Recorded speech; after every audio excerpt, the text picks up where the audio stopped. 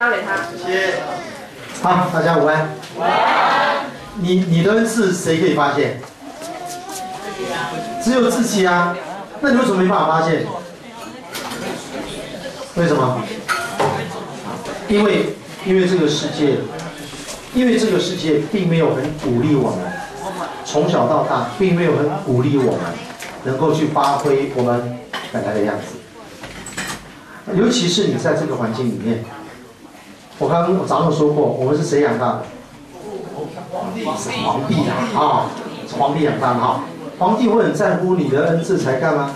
不会，皇帝在乎的事情是你的恩赐才干不会被他用，所以你只有利用价值而没有存在价值。但是上帝的眼光不一样，上帝的眼光照每一个人，你之所以会存在，一定有你存在的一个价值。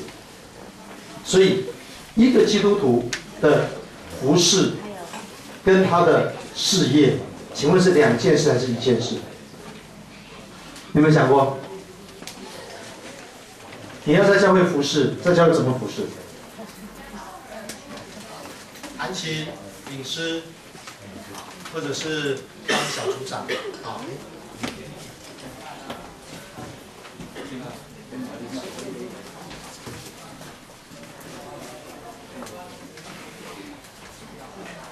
好，那那请问一下，你很会煮饭，在教会可不可以服侍？可以，叫做做爱宴，对不对？好，啊啊，如果你们教会没有爱宴的话呢，你很会煮饭，是不是就没有办法服侍了？是这个意思吗？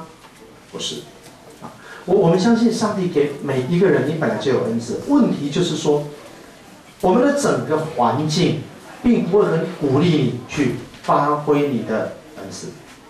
我来举一个例子哈。在台湾，你很会打球，你是很难混饭吃的。可在美国，就算你是黑人，你很会打球，钱赚的多不多？多。所以到后来这几年，我们才发现说，原来打球也可以赚这么多钱啊！所以我们就把我们的孩子送到美国去，去打篮球、打棒球呀。那我们也开始慢慢发现说，其实我们也可以让我们的孩子走职业的路。所以呢，我们有一个女生叫曾雅妮，知道她是干嘛的吗？打高尔夫球啊。啊，卢彦勋啊，我们就发现说，哦，原来上帝给人的恩赐都是可以养活你的，都是可以养活你的。好，哎，你们、你们、你们这里有办法上网吗？他现都有。你们、你们、你们可以后面的电脑可以上网给大家看那个吗？可以，可以给大家那边。后面的电脑可以上网，然后投影出来给大家看吗？他他有接 notebook 啊，那里有 notebook。哦，这台可以啊。然后它可以上网吗？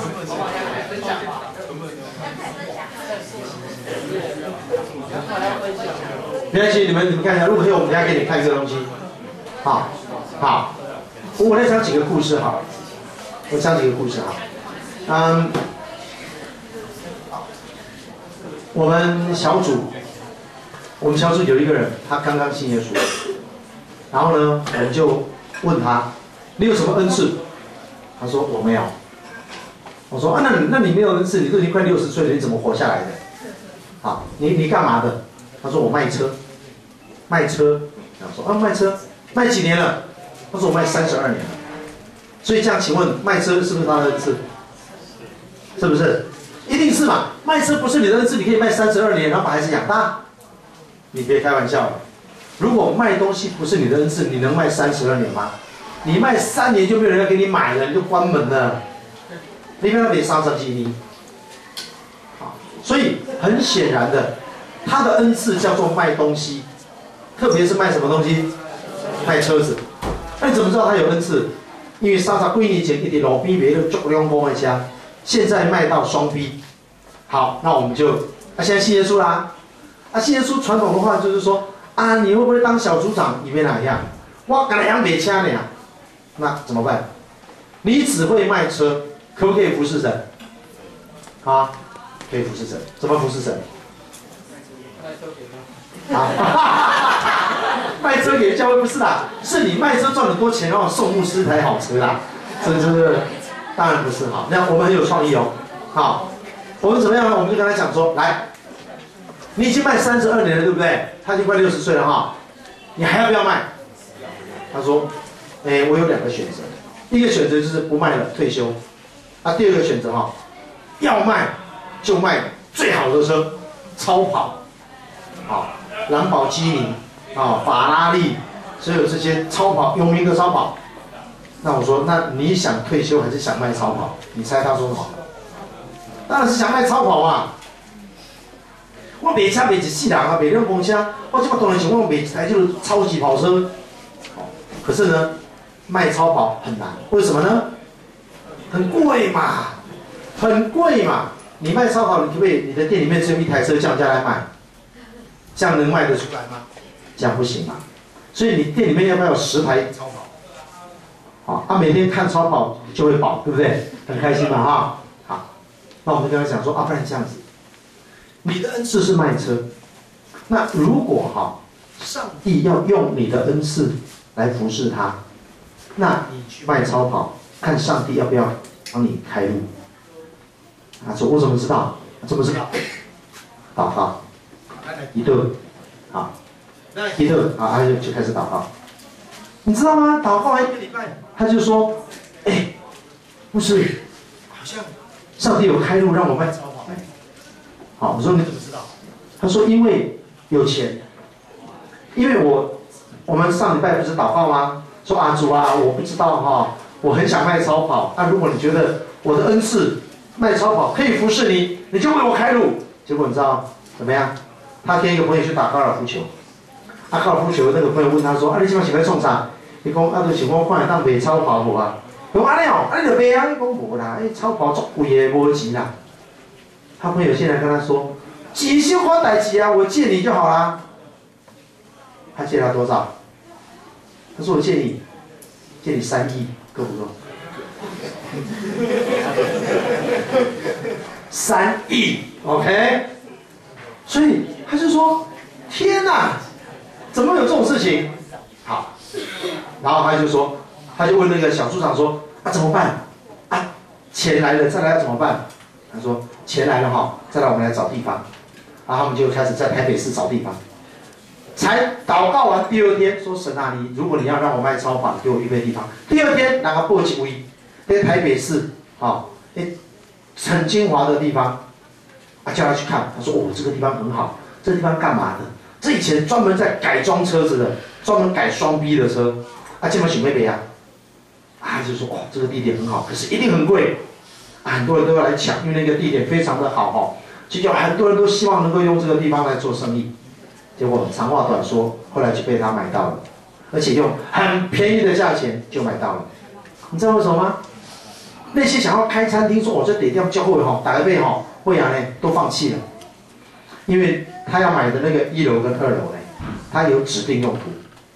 他那个当年盖那栋大楼的时候，计脚无下，不可以变更用途，加细节，就被他买到了，使用执照写。仅限停车，是不是他的？就他的啊，仅限停车啊，他要干嘛？停车啊。好，所以我本来想说给你们看，如果你们有可以上网，我给你们看他那个店面啊，里面就停。我们现在去他那边小组啊，他要卖车，可不可以服侍神？这个人以前会读书吗？他国文很好，英文很好，数学很好吗？没有。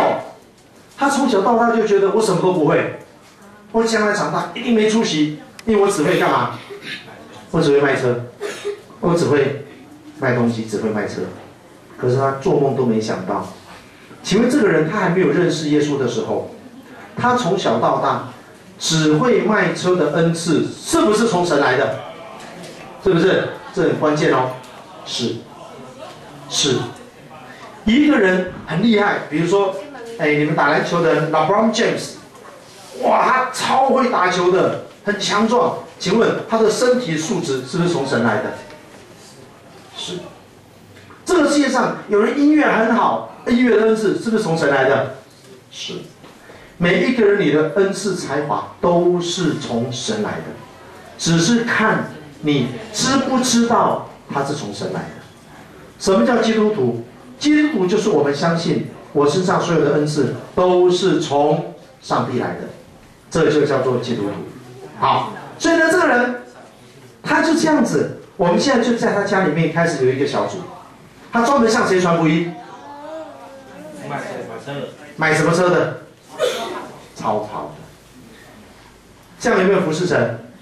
有啊，因为这些开超跑的以前开超跑的会来教会吗？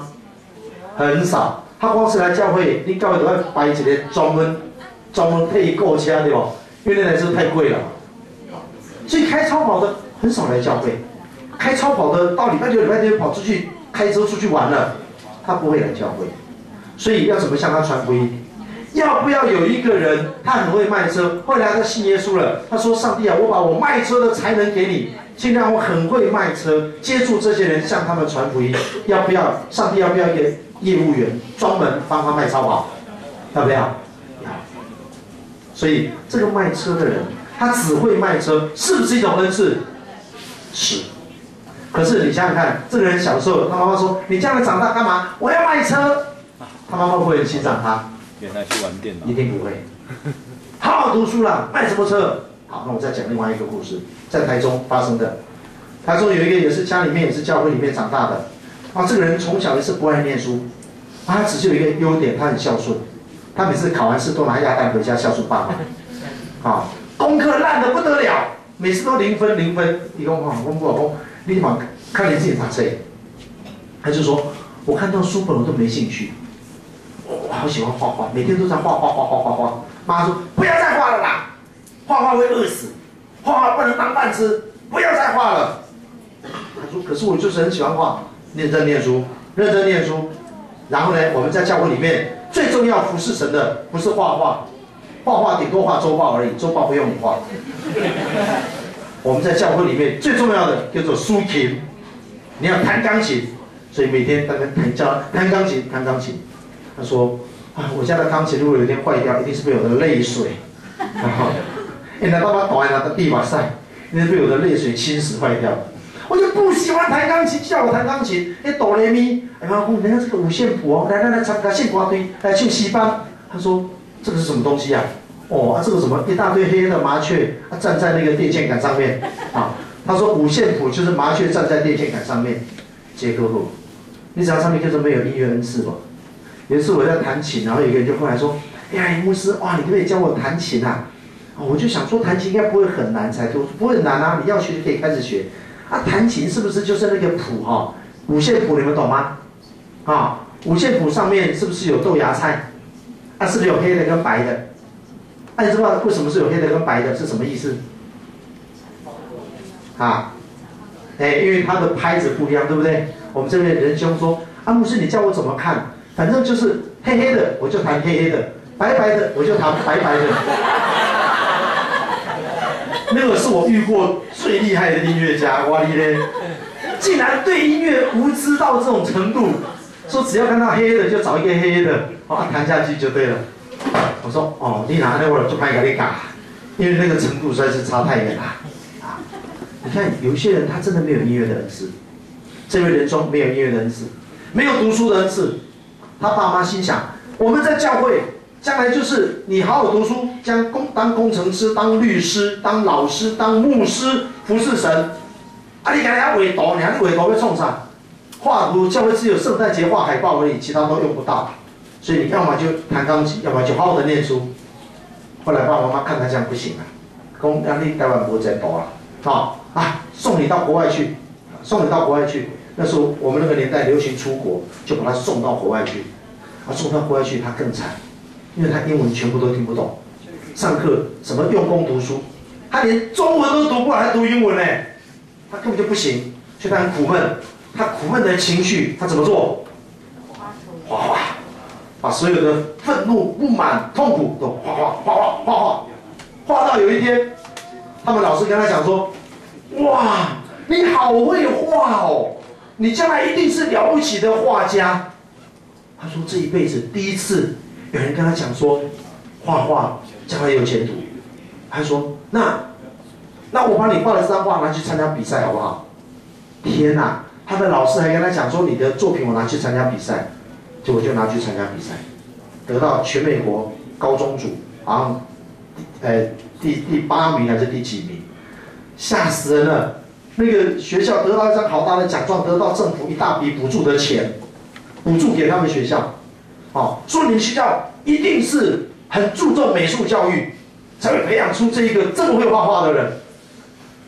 这个人说，画的贵的，上面美术教育的，你说他们校长好高兴，叫他在墙上签名。他们学校立校以来，从来没有人得过什么政府的补助，他是第一个。他说：“你以为去读那学校很开心吗？有没有听过种族歧视？啊？”他说：“我第一天到学校就体会到种族歧视。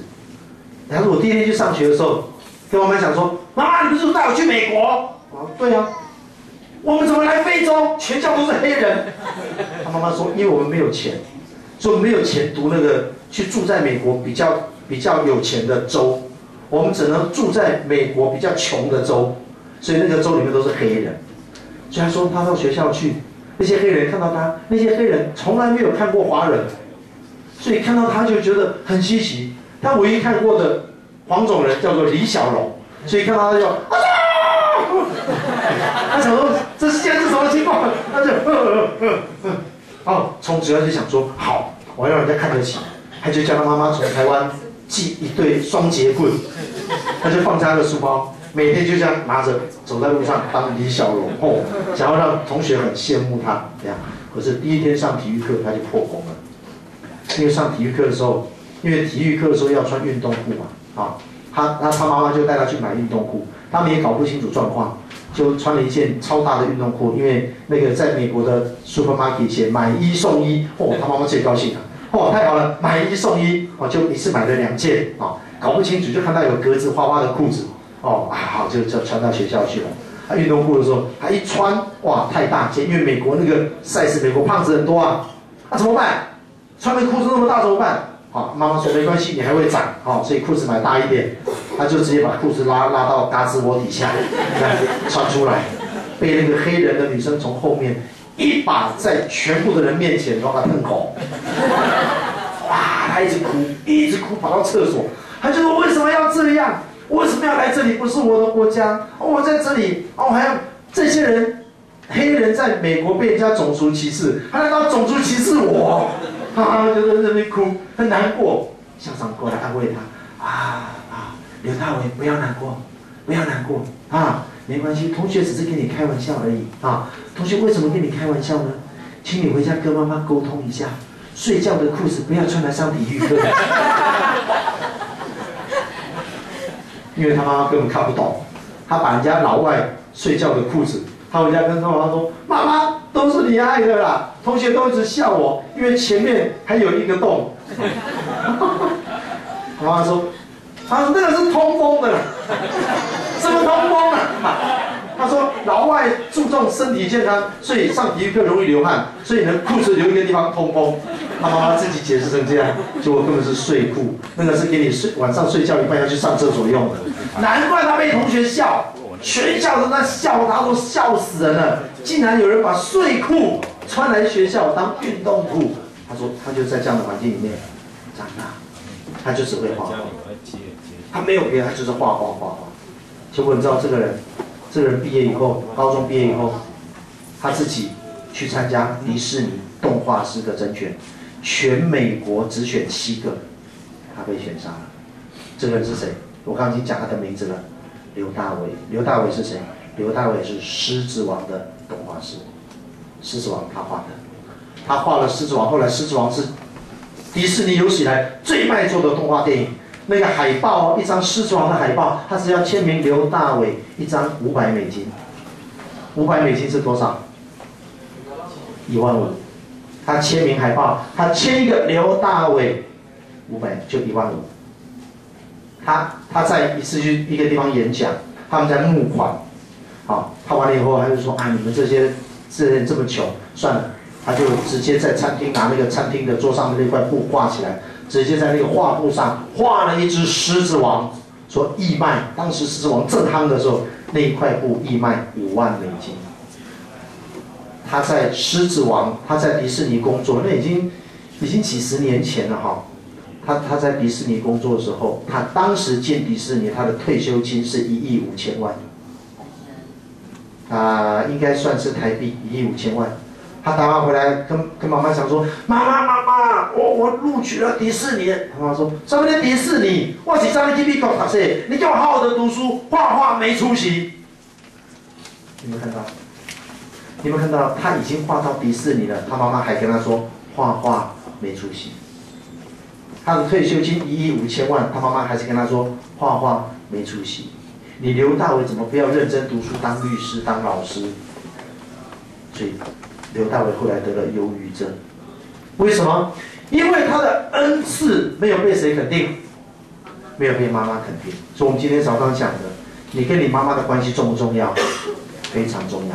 当你的恩赐没有被你妈妈肯定的时候，就算全世界人都肯定你，他还是觉得我不管多了不起，我只要回家一看到妈妈，外面的人觉得你是英雄，叫你签名，签一张名五百块美金，画一张画五万块美金，妈妈心里面觉得黑龙不好啦，画画干嘛？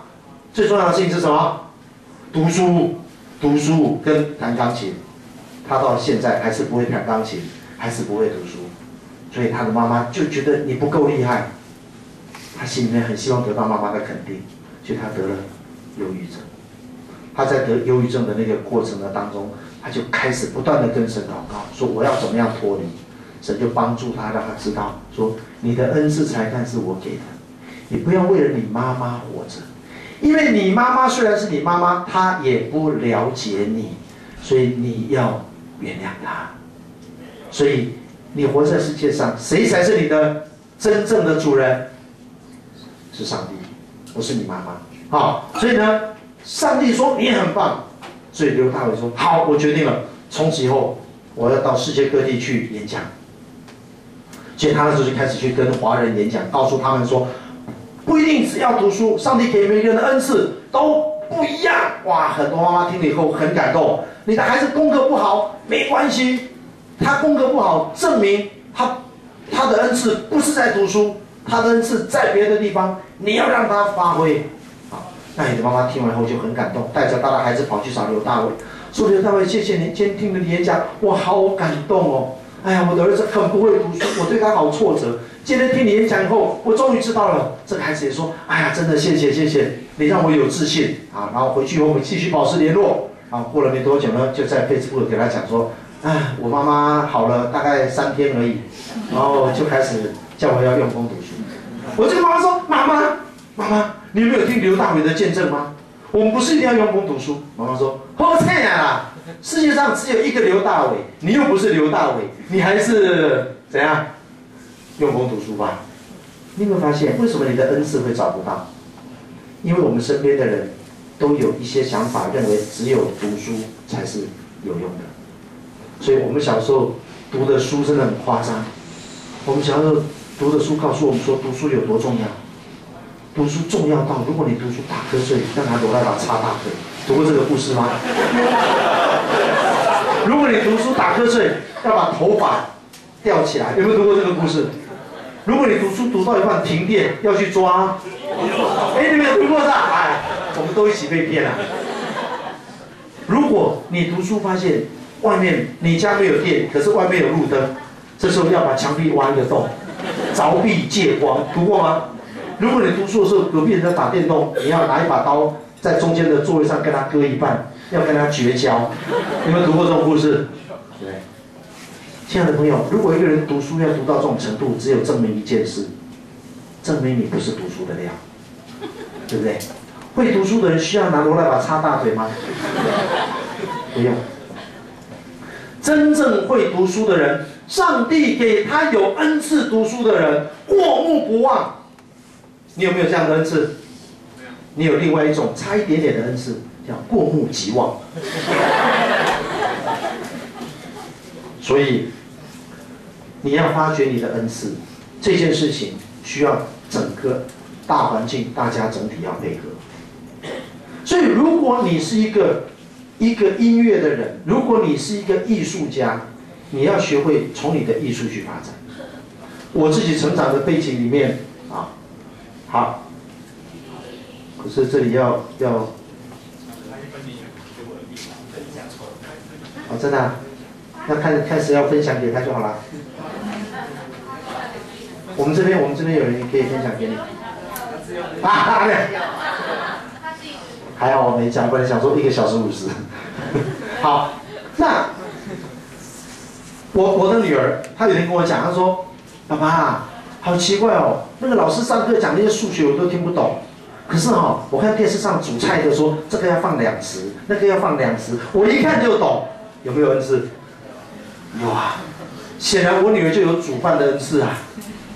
请我一定要教她读书吗？不一定，我就让她可以去好好的发挥她的恩赐。以后我女儿开一家餐厅，每天都在想我怎么煮出最好吃的菜。结果一个上班族那天本来被老板骂了一顿，回家准备要骂小孩，准备要那个骂太太打小孩的。后来经过我女儿的餐厅，然后就打包，后来回家一吃，哇，像那个日本漫画画的效果一样，哇，吃了一口以后，整个世界突然间变明亮，然后世界都都开始旋转，哦，好棒哦，好好吃哦，哇，那然后呢，他突然间觉得看老婆很可爱，看小孩很可爱。请问我女儿这样有没有服侍上帝？有没有？有。所以你很会煮饭，一定要在教会做爱宴吗？你你煮出好吃的东西，请客人在家里面吃饭，他吃了你煮的饭以后，他觉得说整个心情都变好了，有没有服侍上帝？有。就因为这样的观念，所以我们现在开始鼓励大家要用你的恩赐去服侍上帝。而你的恩赐，从我刚举的例子，从卖车到画画，当你会煮饭，当你说我就是很会打棒球，可不可以服侍上帝？可不可以？可以，可以服侍上帝。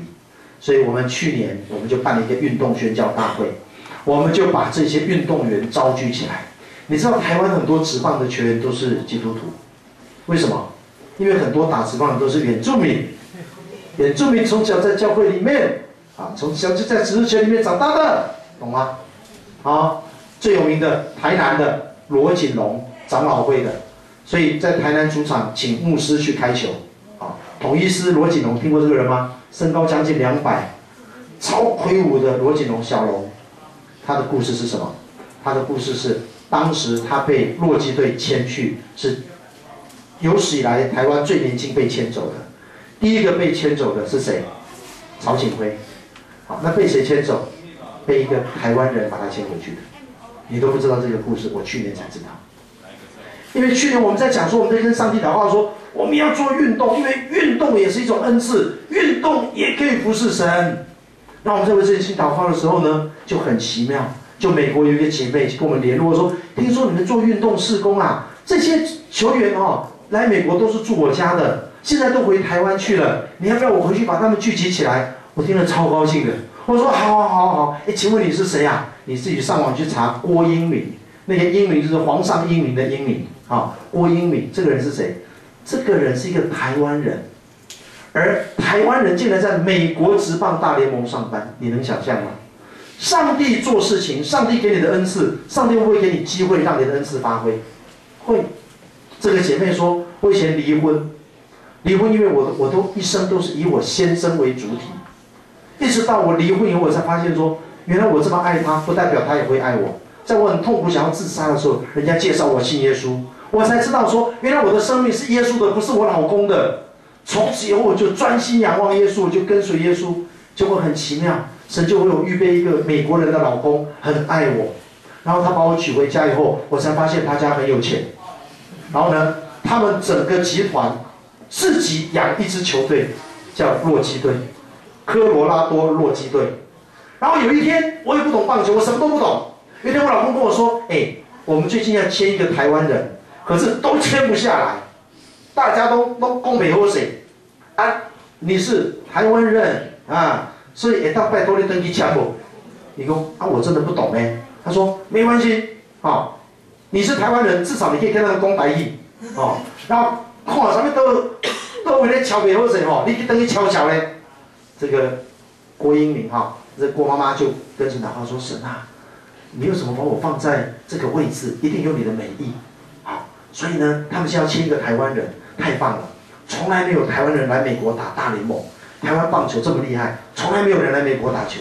如果可以的话，我希望啊，你帮助我，我要作为第一个把台湾人引进美国大联盟的人啊，原来我现在懂了。你让我嫁一个老公，这个老公养一个棒球队，搞不好就是为了台湾的棒球。所以他祷告完以后，他就回台湾。他说：“可是棒球我我不懂呢，这么被枪伤我们栽呢？上帝做事多奇妙。这样的人，他完全没有什么恩赐，他唯一的恩赐就是上帝让他是台湾人嫁给美国人，这样也算。阿利亚州都省，他就回来，他的唯一的恩赐就是祷告。上帝给他一个很特别的恩赐，就是祷告，所以他就回到台湾，他就开始祷告。神啊，我希望我能够，如果如果曹景辉去美国，对他的人生是一个祝福，求上帝成就这件事。祷告完以后呢，人家打电话来了，听说你是球团派来的，是不是？他说，哎，对对对对对，啊，我们阿伯那啦，我人叫叫的，你要打个敲敲的呀。好好好好，他说那天早上，就大家到他住的饭店，各路人马，哦，什么教练有的没的，全部在他面前，说他一句话都没有讲，他们大家讲讲讲讲，他就问他说，阿练赛不？他说哦，可以，他就签了。他说他从美国飞回来很远哦。美国飞回来二十四小时之内拿着合约飞回去，交给公司说任务完成。公司说不可能，我们已经派了律师去了三次了，都不可能。你怎么谈的？你这么会谈？他说我一句话都没有讲。人家说哦，那你一定有上帝特别的恩高，于是就给他从此以后给他一个头衔叫亚洲区的经理。从那天开始，他就开始领球团的薪水，干嘛？照顾曹景辉，他说这是他第一次，曹景辉第一个。从此以后，所有台湾的职棒球员去美国都找他，连王建民小三的时候在他家住了两个月，最痛苦的时候，王建民在他家，他就天天向他传福音，他就天天为王建民祷告。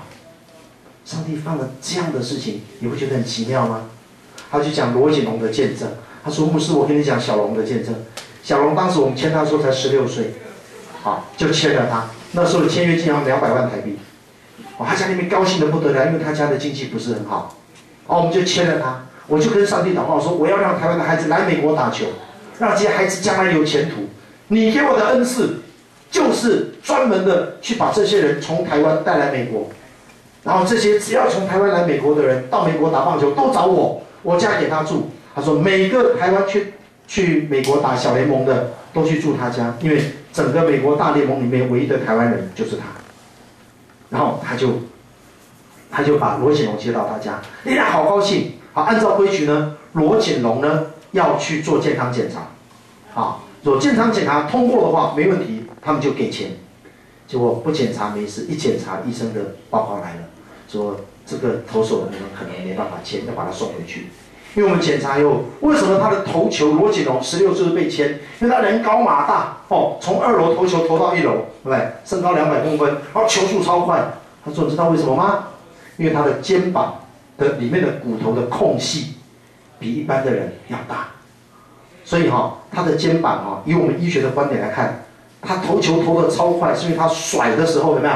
我们甩到一个角度就甩不过去了，他的肩膀是随时可能会掉下来。”啊，所以他甩的时候甩出那个异乎常人的角度，所以他球投出去的时候超级快啊！因为可是呢有一个危险，不知道哪一天甩出去以后那个手就掉下来了，啊，那个肩膀啊就从此以后就就就挂了。所以这个人有风险，你们不要签。还跟他交代，你们送他回台湾的时候，去机场提行李，叫他从今天开始不可以提重的，万一提一下突然间肩膀掉下来的话，我们球团要负责。这个是。没有人说得准，不知道什么时候会掉下来。所以他现在投球很厉害，可是没有人可以保证他能投多久。球团看了这个医生的报告，当然吓死了，啊，赶快跟罗锦龙解释发生什么事，叫郭一鸣翻译。郭一鸣好难过，他好难过。他说那天跟小龙在他家，明天要被遣返回台湾，很沮丧。他说小龙，我们来祷告。他们就来祷告，祷告说主啊。这个孩子的前途交给你。他说：“罗锦龙的祷告让他很感动。”罗锦龙祷告说：“神啊，我不知道这当中是魔鬼的攻击还是什么原因，我不知道。但是我相信我的一生在你的手中，不管有没有来美国打球，我的一生都属于你。”这个郭妈妈抱着锦龙说：“小龙，你对神这样的心，神一定会赐福给你的。”然后就第二天他就坐飞机回台湾。然后回来以后呢，这个郭妈妈想说，哎，我们把一个孩子这样欢天喜地、敲锣打鼓弄过来，然后现在就这样偷偷摸摸送回去，他说真是不行，他就跟球团说，哎，我们这样不行哎，我我们起码哦，把他的那个检验报告，我们送去那个比较厉害的，所以有一个在道奇队啊，有一个肩膀前卫叫做 Andrew。我们把这个报告送给 Andrew，看他怎么说。然后我们起码出一份很厚很厚、超级完整的报告给家属一个交代。啊，说我不是糊弄你的，是真的，这个是因为这样这样这样这样这样这样这样很精密的医学报告，所以我们对不起，我们无法录用这个孩子啊，真的对你们很抱歉。他说我这样做才对得起他的家人。他就跟球团说应该这样做，球团就说嗯，好，你的建议非常好，好。他说好，那我们把他的医学报告送去洛杉矶，给道奇队的那个很有名的专门看肩膀的 Andrew 看。结果呢，看了以后呢，竟然回来跟他讲说：“你们赶快签啊，这个是武林奇葩，这个人是不得了的人啊，这个人将来会有前途的。”怎么会这样？这怎么会这么怎么有这种事情？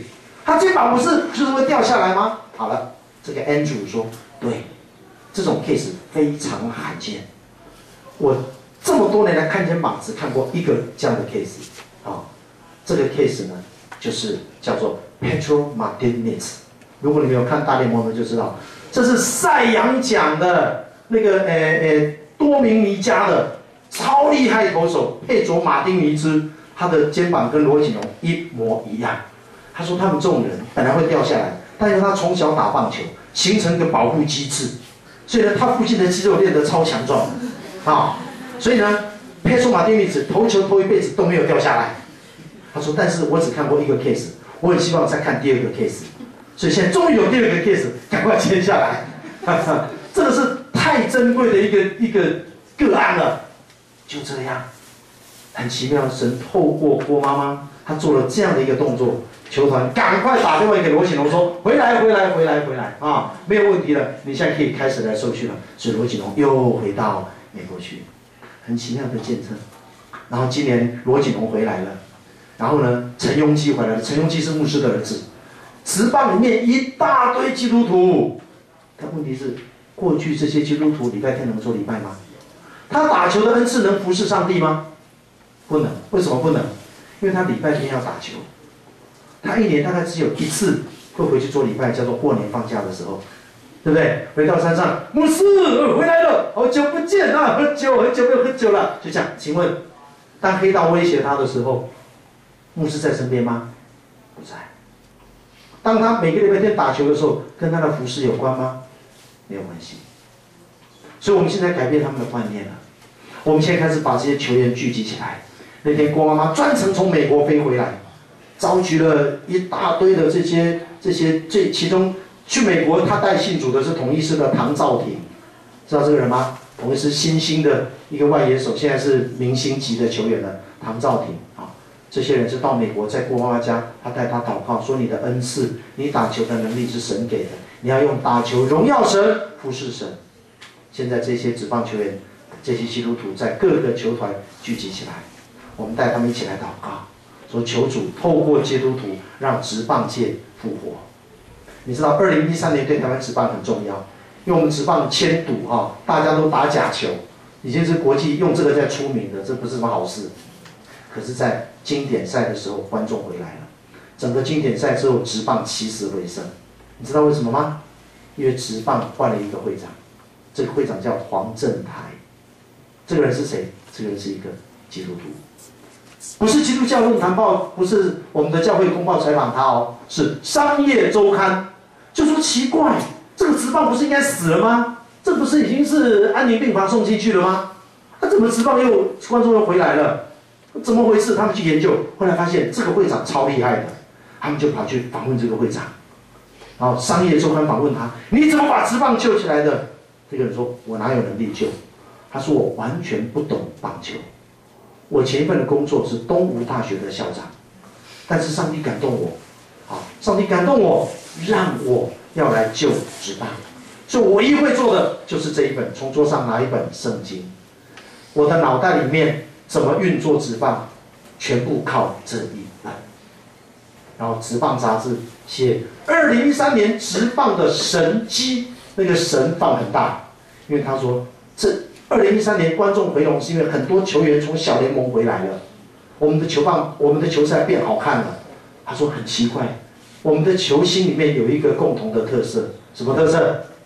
都是基督徒，不是教会公报报道的哦，是职棒杂志非基督徒的记者去观察。说：“哎呦，为什么今年职棒救起来了？哦，原来今年好多的基督徒，好多基督徒，他春训的时候底下都是写为神而打。请问，当职棒球员是基督徒在场上很认真打的时候，有没有服侍神？有。为什么有服侍神？我刘三讲古要办一场一万五千人的布道会容易吗？很难哎，我顶多一年办一次，要筹备半年。”你知道，自从这几个明星回来以后，以前职棒没人看，两两两千个人、三千个人。去年职棒每一场一万多个人看。我们还从美国请了一个 Manny，你知道吗？绑辫子的，啊，这个人以前在美国问题很多的，他来台湾记者都在看这个人要来搞什么花样。结果呢，这个人来台湾之前信耶稣了。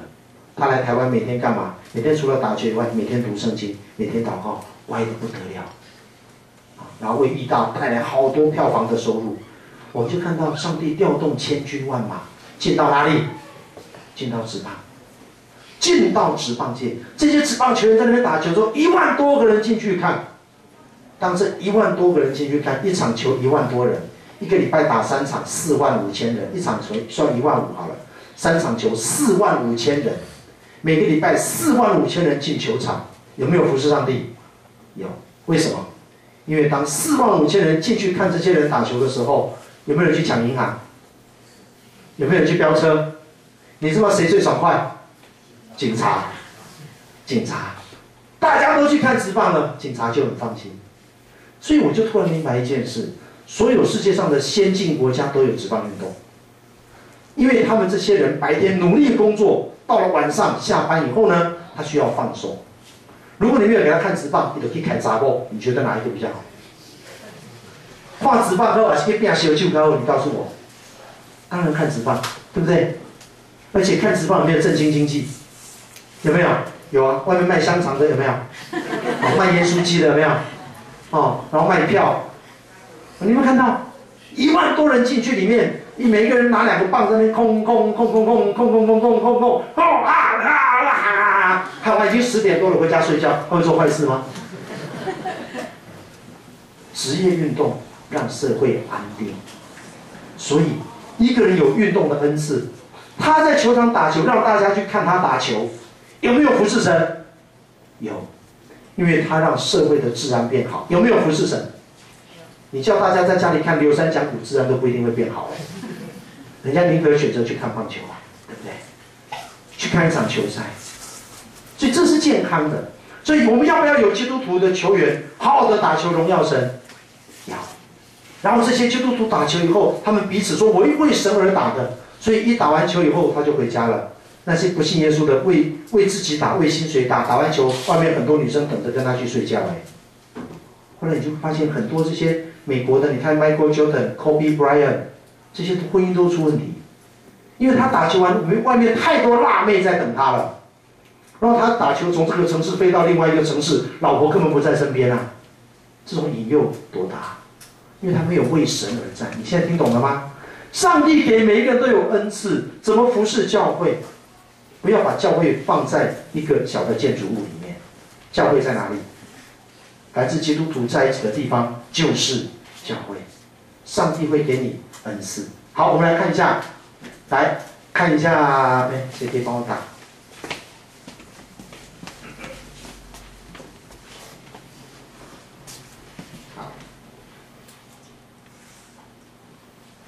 我先给大家看一个东西哈，这是一个音乐家跟那个张雨生一起录专辑的，我们的一个同工。他给我看这个东西，他就想到说，上帝给每一个人都有恩赐，他的恩赐就是音乐。可是呢，他说现在做音乐都快饿死了。为什么快饿死了？因为现在没有人买 CD 了。歌神张学友，张学友出一张 CD 也卖不了一万张了。那个时代过去了。可是，上帝给人音乐的恩赐，我我音乐很强，是为了要让我出 CD 的吗？上帝给你音乐的恩赐是为了让你赚钱的吗？还是上帝给你音乐的恩赐是为了让世界更好？来一个？让世界更好。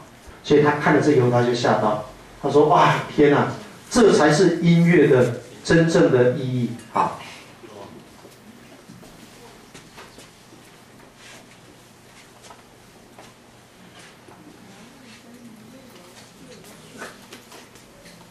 Pray for change，哈。嗯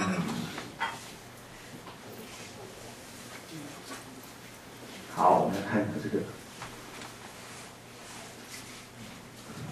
你注意看，你们看到了什么？哈。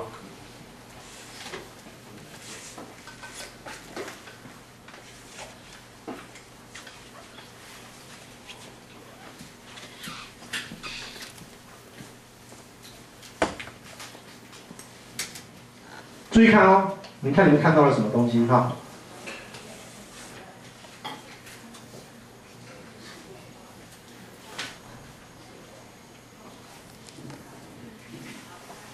多少人看？有没有看到？两百九十万人看，好。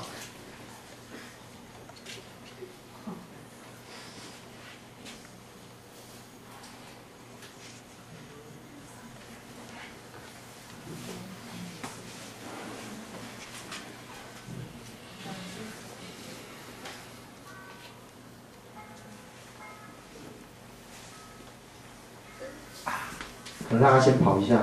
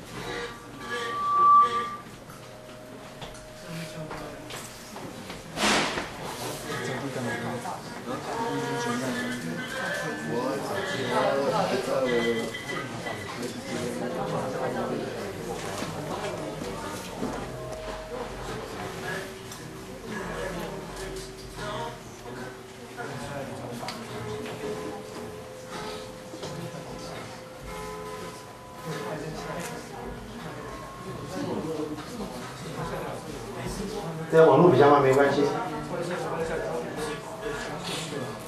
好，我们再让再试一次看。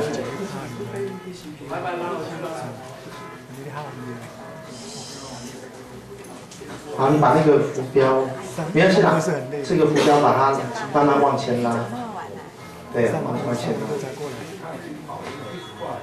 对啊，它其实已经跑很快了。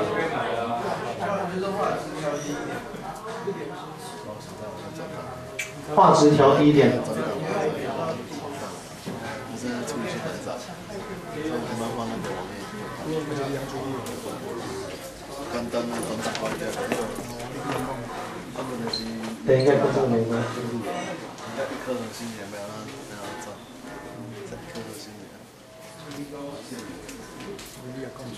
好，没有关系哈。你你你看到了什么？这首歌大家都听过吧？哈，很老的一首歌。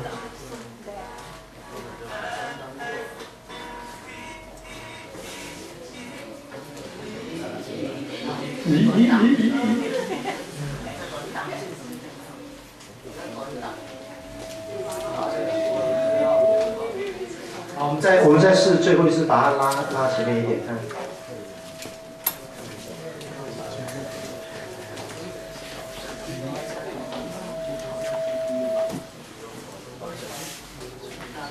你看这个人哈、他随便做一首歌都是几十万人，都是要上百万人看的哈、他做一件什么事情呢？其实他做的事情很简单，就是他放一首歌，那这都是老外很熟的歌，然后他在这首歌里面，他在这一首歌的当中，他让大家透过一首歌看到很多东西。你刚才有看到哪些东西？虽然画面一直跳，你看看到的什么？很多乐器，很多乐器。所以一个做音乐的人，他就带着一个收音的设备，然后走遍天涯海角，然后就去收一些乐器。然后呢，除了看到乐器，还有看到很多什么东西？很多不同的国家，同样一首歌，他让阿根廷人唱，他让非洲人唱，他让这个人唱，他让那个人唱，而且呢，他去收录。你看这个地方的时候，看尼泊尔，就看到他们的风土民情。请问一个人做音乐，他这样做，如果你是喜欢音乐的人，这个工作会不会让你很开心？去世界各地旅行，去认识最顶尖的音乐家，然后去看到各种各样的乐器，然后去拍各个地方的风土民情，然后把它串成一首歌，让所有的音乐家在一起唱一首歌，他会不会饿死？这要不要花很多钱？要不要？要。可是为什么他不会饿死？因为当他放在这边的时候，为什么叫 playful change？change 有两个意思，第一个就是改变世界，所以他的梦想就是他把这个放在上面，告诉大家说：你们如果觉得我这个人音乐很厉害，请你们可以捐款，因为我要去做世界各地的音乐教育。我让世界各地的孩子，他没有钱钱学音乐，可是他看我的影片以后，他会对音乐产生兴趣。然后你们捐的钱，我们可以去什么非洲啊，去一些落后的地方，去帮助他们，让他们接受音乐教育。第二个劝举的第二个意思就是零钱。他说，所以欢迎大家把我当街头艺人，你就丢一块钱、两块钱，你就丢钱给我。所以呢，很多人看了以后呢，就捐钱，就为他奉献，让他去做这样的东西。所以他做了一首歌放在网络上，很多人看了以后就捐钱给他。他就拿这些钱再去做第二首歌，再去做第三首歌。所以你自己回家看，你找 Play for Change，他里面现在做了一大堆的歌，到现在他还在做。所以我用这个例子，可以了，没关系，可以可以把它关掉了哈，没关系。我只是让大家看一个例子，就是让你看到说，当一个人你的恩赐拿来服侍上帝的时候，你会很开心，你不会饿死。然后呢，你也可以同时间。服侍上帝，什么叫做服侍上帝？不是只有在教会里面唱诗班才是服侍上帝。好，那给大家看刚才的那个汽车网站，先把它关掉好了。我们刚刚讲的那个早上的那个超跑啊，你开一个新的网页，然后打蜂群汽车，不是 YouTube，你再开一个新的，这里开一个新的视窗，谢谢。啊，好，然后然后打蜂群汽车。哎，丰富的丰，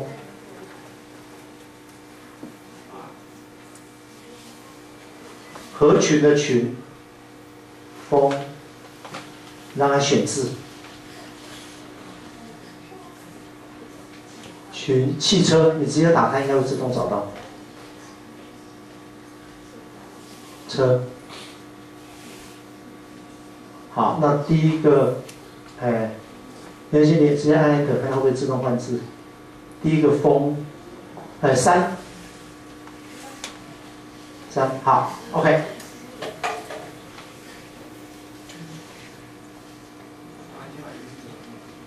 哎，阅读可以关掉了，稍微快一点啊。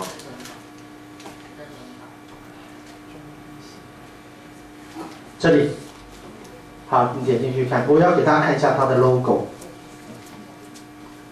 这是去年五月发生的事情，这个人，他五月他的汽车就就开张了，啊，他这里就是他的展示间，一楼跟二楼，超漂亮的一个展示间，啊，那现在学问在这里，这个 logo，这 logo 什么意思？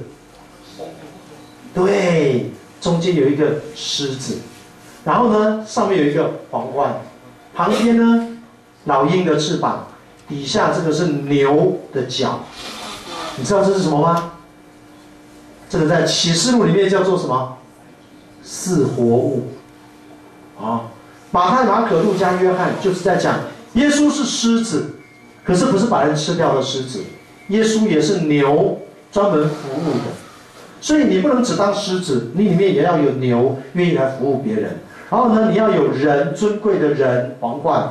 然后接下来就是你要有老鹰的眼光，所以他用这个 logo，人家问说：“哦，你这个 logo 很炫哦。”因为超跑有没有看到超跑很多都是什么动物啊、独角兽啊？他说：“啊，你这是什么意思？”他就要解释了，因为我开超跑，我是专门是来让大家能够过一个神所喜悦的生活，所以你们这些有钱人不要只当狮子把大家都吃掉，你们也要当牛来服务社会。然后你们看问题要有老鹰的翅膀在天空飞，你们要看得懂人生的意义。然后你们一定要有在你们的脑袋上面要有一个人性，所以你们开超跑的时候，你们是要来服务人群的，这就是他的企业的 logo。所以卖车可不可以服侍上帝？可以。所以当你现在看到我们的这些球员，当你发现职棒里面很多基督徒在打球的时候，他有没有服侍上帝？有。后来有人问我一个问题：啊，刘博士，可是问题是啊，如果投手是基督徒，祷告说我要把他三振；打击者也是基督徒，说我要打全垒打，哇，他强蹦了。现在上帝怎么办？那我问你，上帝怎么办？上帝怎么办？下雨停赛啊！那天到晚都在下雨了哈。是啊。直棒最好看的是什么？最好看的就是我这一次被你陈金峰，这次被你三振没关系。我再过两局，我再上来，我就可能把你打全垒打。其实上帝要的是什么？上帝要的是你投手把你最好的球技拿出来，打者把你最好的技巧拿拿出来。你觉得上帝很在乎三振还是全垒打吗？你会因为你支持的球队，你今天支持陈金峰，就完全上场四次都共估，你在门口拿一个冲锋枪就把他干掉，你会这样做吗？不会，对不对？因为运动员最重要的不是胜负输赢，最重要的是场上对决的那一刻，你永远不知道下一秒会发生什么事。两个人全力以赴，那是最好看的。所以，上帝可不可以当个球迷，告诉基督徒投手说认真投，告诉打者说认真打？我也很好奇，你们两个谁会赢？这不是很妙的一件事吗？所以，亲爱的朋友，你会担心你的恩赐吗？你根本不用担心，上帝创造你来到世界上，会不会你一点用都没有？有没有可能？不可能。所以不管世界怎么看你，你一定要相信神创造你有一个独特的心意，你一定可以在你所做的事情上荣耀神。如果你说我的恩赐是音乐，你一定要，你一定要去国家音乐厅演奏吗？可不可以？我的恩赐就是音乐，我专门教三岁小孩。所以教三岁小孩的音乐，I'm King，我是全台湾最会教三岁小孩的人，可不可以？可以。那你可不可以说我是最会教三岁发展迟缓的小孩，可不可以？可以。可不可以？我是专门用音乐做治疗的，可不可以？可以。所以不管你做什么，所以今天很重要的一件事情就是，我没有办法告诉你你的恩赐，我只能告诉你。你的身上一定有一些人家没有发现的恩赐。你的生命当中一定有一些世界上的人不会欣赏的恩赐，重点是在于你自己对自己有没有信心。所以你很会煮菜，你你你的视觉很厉害，那也是你的恩赐；你的嗅觉很厉害，那也是你的恩赐；你的听觉很厉害，那也是你的恩赐。所以我认识一个听觉超厉害的，他是从国小的时候，他妈妈就跟我讲说，这个孩子哈、为什么会去学琴呢？他国小六年级已经去考到雅马哈的老师了。哦，他是弹那种以前传统的那种那种风琴，是脚要踩的那一种。他是从小学那个东西，后来就问他说啊，他怎么会学？妈妈说，因为以前我在教会要司琴，爱抒琴，我在厝里练的时候，阮囝吼，十几岁啊，尔就在哪讲，妈妈弹错了，弹错了，我们一起在把上了，弹错了。后来想说你不是乱讲，就是有天分。后来就跟老师讲说，我、弹琴小孩都说我弹错了呢。老师说你带来我听听看，他把他带去，老师弹琴说，哦，你这孩子音乐是有有天才的。后来发现他这个儿子是绝对音感。什么叫绝对音感？绝对音感就是我们弹吉他都要调音，对不对？我们要调一个一个标准音，叫做拉。小提琴也是，你看那个每次管弦乐团，不是一开始就拉了，大家在那啊，那调音调了半天，调这个音。好，那这是什么音？re 哦，厉害哦，这个呢？拉这个，哎呦，好厉害哦！好，升发，好，就这样子。好，那我现在我用这个，这什么音？哎，什么叫绝对音感？就拿筷子敲都告诉你是什么音，这样听懂了没？就是他只要听到音乐，他就知道是什么音。你跟他说拉，他就他不用弹钢琴。你跟他说，哎，给我一个拉，他就他他就给你一个拉，绝对音感，他耳朵好的不得了，哪来的？天生的，上帝给他的。Michael Jordan 罚球线跳起来就可以灌篮，怎么练？你练练看，每天从罚球线跳起来，一直跳，一直跳，一直跳，啊，跳到膝盖都已经坏掉了，你还是不能灌篮。你怎么练？每天那天天天天天天天，上帝给你的，你有音乐的天分，所以贝多芬对不对？哇，这么小一弹钢琴，听到音乐他就有韵律，因为他有。音乐的天分，所以我好羡慕他。我跟他说：“哇，你真的超厉害的！这家伙现在是常常跟五月天到各处去巡回，啊，五月天到各个地方去巡回，他就跟着他帮他们去弹琴，超厉害。现在就在家编曲，啊，他叫易哲，啊，啊，这个家伙我从小我就认识他了，他从读国小我就认识他了。可是他快乐吗？未必。我跟他说：哇，你有音乐的恩赐，好棒哦！你有绝对音感。”听什么声音？哇，你太棒了！他说：“牧师，有些事情不是不是像你想的这么美好。”我说：“这个我们喜欢音乐的人最羡慕有绝对音感的人。”他说：“但是我都从来不去唱 KTV，为什么？因为朋友在那边唱，妈妈这一个，妈妈这一个，这一，然后在那边唱唱，后来发现掌声鼓励。他说：从头到尾都在走音，没有一个音是准的，你都听不出来哟，听不出来，我觉得很好听嘞，啊。”你们比较快乐，懂吗？笨的人比较快乐，因为看不出问题在哪里。他说去教会敬拜，有时候教会在上面拉小提琴，自己拉得很陶醉，我听得快抓狂了。说你的弦不准，你不知道吗？哎，我就学到一件事，你不要羡慕别人的恩赐，懂吗？没有一个恩赐是绝对的，那个是你的优点，它也会有一些不方便。所以你千万不要认为说哇，我这这个人的这种优点啊，这个这个恩赐太棒了，不要去羡慕别人。你要知道，上帝是公平的，上帝让你有这个恩赐，上帝让你没有这个恩赐，上帝一定有他的美意，上帝是按照他的意思。所以如果有一个人说哦，我的恩赐就是很规律，所以众人当什么最好？当军人最好。我们就有一个军人就是这样。哇，那真的是太厉害了！我遇到他，我说：“哎，你这衣服很好看的。”他说：“好看吗？对不对？”我说：“哇，你这在哪里买的？等一下，我查一下。”就这样看。我说：“干嘛？”他说：“这个衣服在哪买的？一件多少钱？都写在后面。”啊，这个人很规律的，他的每一件衣服，民国几年买的，多少钱买的，哪里买的，全部都当场买完就写在衣服后面领子上，所以每次都会去记啊。这件衣服当年什么时候买的，马上可以告诉你。我说哇，你太了不起了。他就讲保家卫国，就是要我们这种人啊，做事很仔细，超有纪律的。姐妹嫁给这种人会不会有安全感？军人保家卫国，我们叫一个空姐，天天在天空飞，所以就想说啊，我在天空飞，好羡慕一个安定的居所啊！我真的羡慕当我降落的时候有一个避风港，所以觉得哇，这个军人这么仔细的一个人，嫁给他一定超幸福的，好高兴就嫁给他了。哇，一个空姐嫁一个将军，太棒了啊！嫁去以后就跟我说，牧师，我好痛苦哦。我说有什么痛苦？他他不是男子气概，保家卫国，给你有安全感吗？他说，但是问题是太龟毛了。我说不用太龟毛，他买每一件衣服都写在后面很好啊。对，但是我跟他结婚第一天，他就骂我说你怎么都不会晒衣服啊？我会晒衣服，我都不会晒衣服。你出来到阳台，你这衣服怎么晒的？什么意思？天啊我啊晒衣服，你会晒衣服？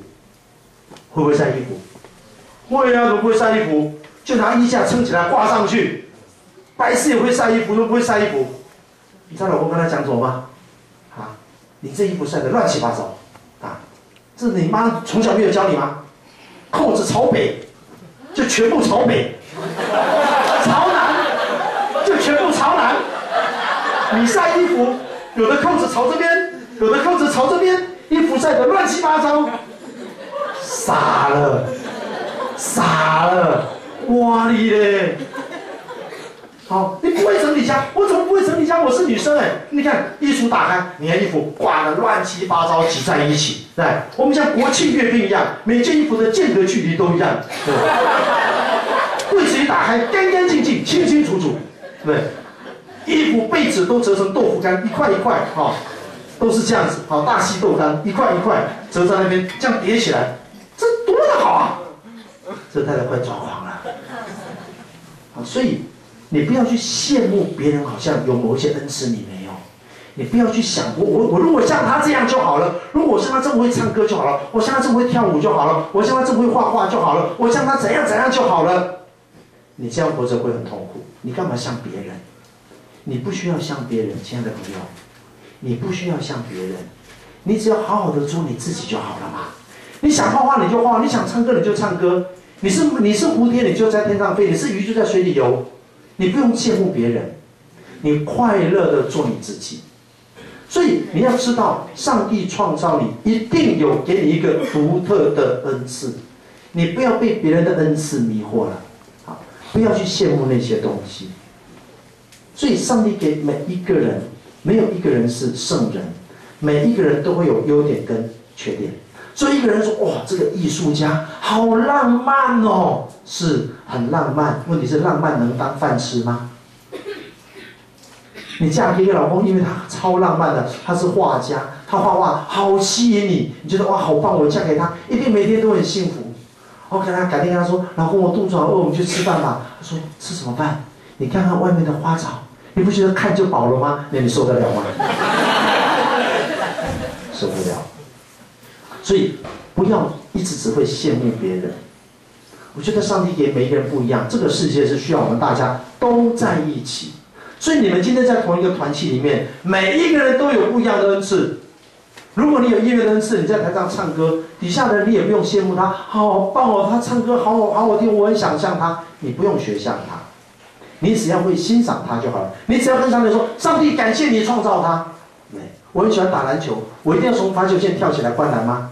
我不用，因为 Michael Jordan 已经做了，我我再做就多余了。我只要在电视前面吃花生，然后就转转那个遥控器，就嗯，很棒，这样就好了。你要去欣赏别人的恩赐，你欣赏画家画的东西，你欣赏建筑的工人建筑的东西，你欣赏各行各业每一个人做的事情。圣经里面叫做万事互相效力，所以你的存在一定有你的价值。所以，尤其是女生，也不要羡慕啊！我如果再高一点就好了，我如果鼻子再尖一点就好了，我眼睛再大一点就好了。我们都在羡慕这些东西。美国的那个苹果，他们最近把一款游戏下架，一个游戏的 App 下架，小朋友很喜欢玩，但是家长去抗议，说我们觉得你这个游戏非常不好。后来他们就把那个游戏下架了。那个游戏是什么？那游戏就是会出现一个女生，然后呢，就让这些女生就开始。开始跟他做减肥整形手术。啊，他出现一个女生，然后就问这个玩家说：“你觉得应该怎么帮她整形呢？”好啊，这些女生后面就有很多的操作，可以帮她抽脂，可以帮她隆乳，可以帮她干嘛干嘛干嘛。这些美国的小孩子从小就玩这种游戏，玩整形。然后如果你整形，你觉得你已经呃完成了，你就按 Enter。那如果整形出来的这个人出现在你面前，如果这个人很符合这个游戏原本设计的规模，就会有一件时尚的衣服穿在他身上，他就会出来走台步，这样啊，那就证明你的眼光很成功。请问这是好游戏吗？为什么这不是好游戏？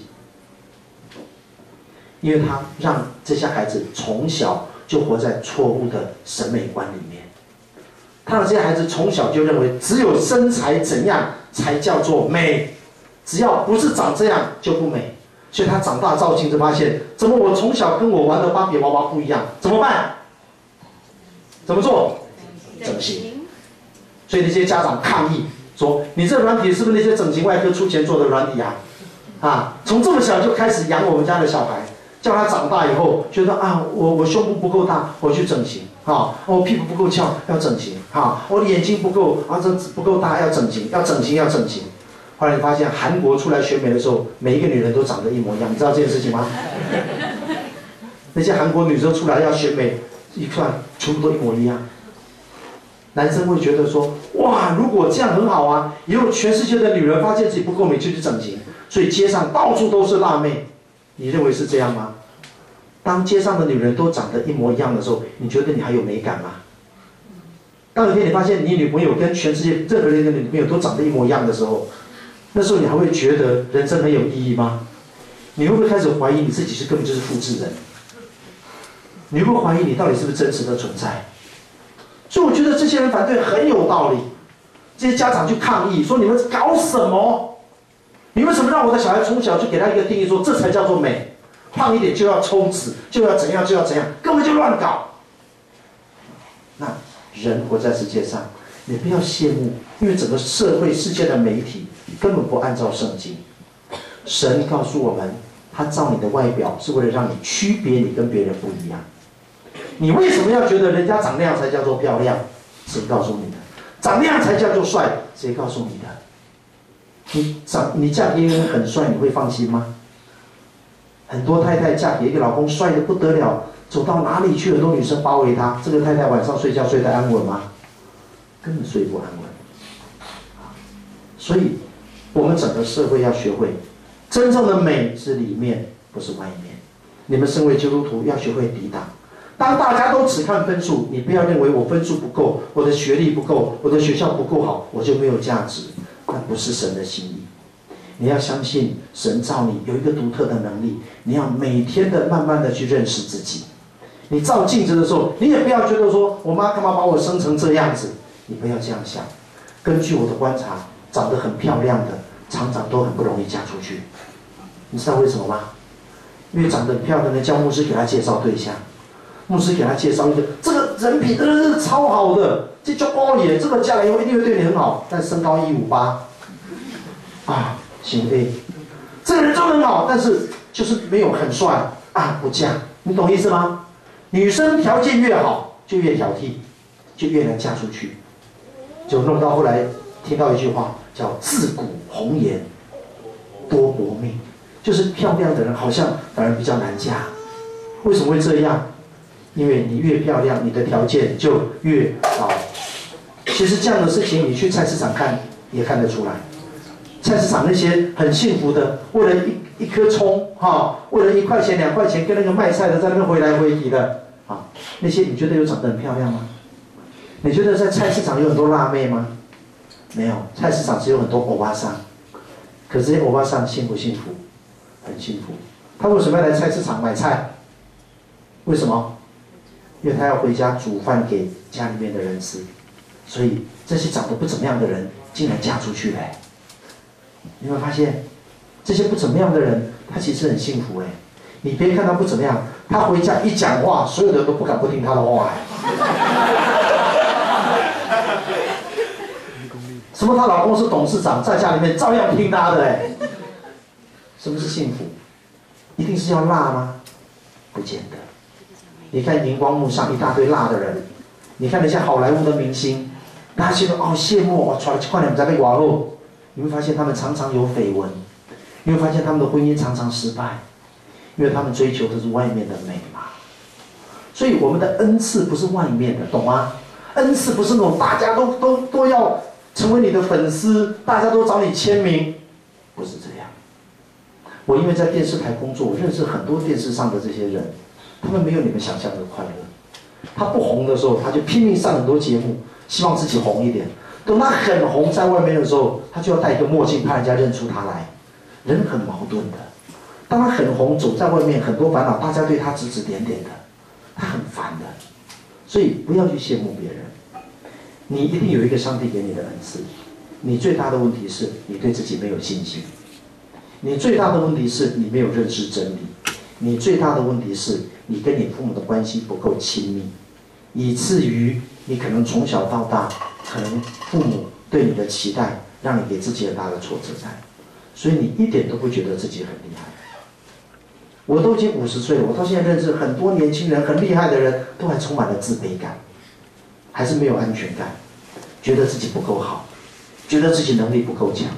因为他的自我形象，他对自己的看法已经被世界扭曲了，所以你一定要懂得肯定你的身上一定有某一些恩赐。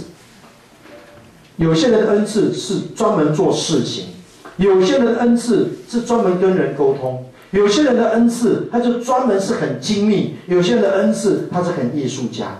有些人的恩赐他是很好相处，有些人的恩赐是很细腻。每一个人的恩赐都不一样，所以你要发掘你的恩赐。那第一个前提是你要有信心，你要相信你的身上是有某一些上帝给你的恩赐。上帝不会造出笨蛋来，上帝造的每一个人都有价值。有人挑战说：“牧师，你说上帝不会造笨蛋，可是上帝明明就造出很多智能不足的人。”这些智能不足的人带给他的父母亲多大的祝福啊！你知道台湾现在有一个家族叫天使星家族，里面都是发展迟缓的。你知道发起人是谁？发起人是两个音乐家，先生大提琴，太太弹钢琴。先生叫林兆成，他是一个基督徒。他说，当他生出他孩子智能不足，他不能接受。我跟我的太太都这么优秀，怎么生出这种小孩来？我要这种小孩干嘛？结果很奇妙。当他开始养这个孩子，他照顾这个孩子的时候，他开始从这个孩子身上学到了很多东西。他以前只知道优秀的人的想法，他从来没有想过，不是一定要这样想的。所以当他跟他的孩子在一起，他学会另外一种生活的态度。所以他说这些孩子都是天使，所以他就开始聚集一群发展迟缓的孩子，叫天使星。啊，他们经常会出来办一些活动。让这些忙碌的人们学会从发展迟缓的人身上看到我们的脚步，有时候要慢一点。不是只有收入高、很厉害、分数高才叫做有价值。你陪伴这些生命，这些生命带给你的感动，是别的孩子他不会带给你的。所以，发展迟缓的孩子也成为我们的祝福，也成为我们的帮助。我在电视节目当中常常跟很多残障朋友合作。跟他们在一起超开心的。我跟他一起录节目，有时候说啊，打开挂架点起这么好，听这些新闻哦，很烦呐。我们那个眼睛看不见，说牧师，我们比较好啦，我们都看不到，我们的世界都一片光明啊。你们觉得这句话很好笑？好，他什么都看不到，他的世界一片光明。弹琴超厉害的，打鼓超厉害的。哎，眼睛看不见嘞，弹琴；眼不看，眼睛看不见，打鼓。或者我在受不了，我就问他说：“哎，我问你一件事哈，那个我们唱副歌，我都比这样子嘛，对不对？你根本就看不到，你根本看不到我比这样，你怎么知道我还要再唱副歌？”我说：“你可以跟我透露一下你的商业机密是什么？”他说：“上帝没有给我眼睛，就给我耳朵很厉害啊！我听你唱最后一句的时候，我一听就知道你还没有要结束啊，这样厉不厉害？” 我听你唱最后一句，我就感觉你应该是要在，不是从头唱，就是从副歌唱。所以，当你再从头唱的时候，我虽然没有看到你的手势，啊，可是我一听我就知道，我就可以猜得到，八九不离十，大概你要怎么样？你要结束的时候，你的里面要结束的时候，会有一种感觉，在你唱的时候，会让我感觉到你准备要结束了。这种能力，我们有眼睛的人就没有。为什么？因为有眼有眼睛的人都依靠手势，有眼睛的人我们就不太用耳朵。这些有耳朵的，我说，哎，啊，你去听碟，那叫修的吼，啊，你不会烫到手吗？他说，牧师，你有耳朵，那个水快要满的时候，声音不一样，好，你听到声你就知道，嗯，差不多了。被烫过一次，下一次你就知道，听到那边的时候，不可以再，不可以让它水继续再下来了，很有趣。你跟这些眼睛看不见的人在一起，超有趣的，好好玩。他也跟你说，哦，昨天我有看棒球，哦，你要看棒球，你看，你还会看棒球。罗牧师，你不要讲，我前每个当怕乒乓哎，啊，还可以打桌球嘞，啊，我我们很厉害的，我们不是他们，所以我们跟他活在不一样的世界里。上帝造的每一个人，你都会有恩赐，所以你怎么发现你的恩赐？很简单，你只要相信上帝给你有恩赐。上帝一定会让你发现你的恩赐，你的恩赐不见得代表你要变倒所有的人，不是，你的恩赐是你做那件事情会快乐，那就是你的恩赐。所以我女儿只要进厨房开火，她就会很快乐，很明显，那就是她的恩赐。所以有些人只要拿笔画画就会很快乐，那就是你的恩赐。我相信上帝给我们每一个人都有恩赐，你不用担心我没办法发现恩赐，你不用担心。上帝既然给你恩赐，他一定会让你发现恩赐。很重要的事情是，你要相信自己是有价值的人。你不要担心你会饿死，你不要担心你将来比不过别人，你不要去跟别人比较，你不要去跟别人竞争，你不要一直想要当别人。你要常常跟神说：“神啊，我感谢你，你创造我真美好。求主让我活出你要我活出的自己。”神就会引导你。你就会慢慢越来越了解你的恩赐，好，所以不要担心。我们信主的人不要忧虑，不要担心，不要活在别人的眼光里面。